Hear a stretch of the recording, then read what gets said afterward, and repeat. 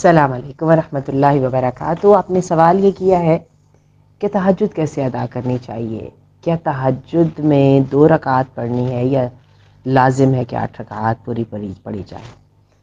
اچھا یہ ہے کہ تہجد جو ہے نا، اس کو کہتے ہیں کہ آرام کے بعد کی نماز۔ سو اس کا جو ہے فنڈامنٹلی جو اس کا ٹائم ہے نا، وہ یہ ہے کہ نصف رات تک یا ثلث رات تک سویا جائے۔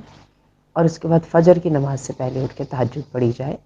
یہ بھی ہو سکتا ہے کہ تہجد پڑھنے کے بعد تھوڑی دیر کے لیے فجر کی نماز سے پہلے آرام کر لیا جائے۔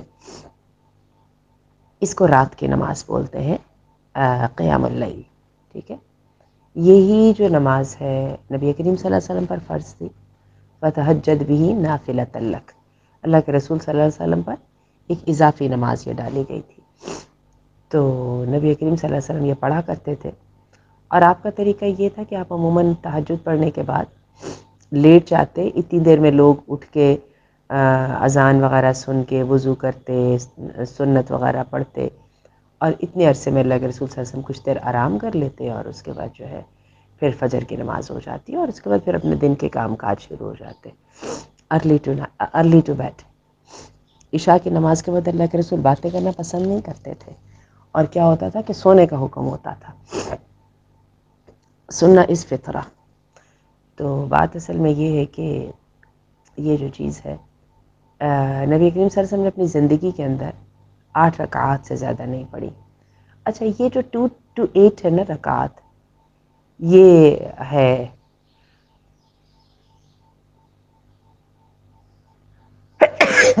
آپشنل ہے، آپ کے پاس طاقت ہے۔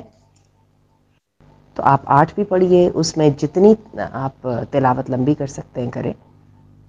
لیکن میں آپ کو بتاؤں کہ ٹو اور فور اور سکس اور ایٹ۔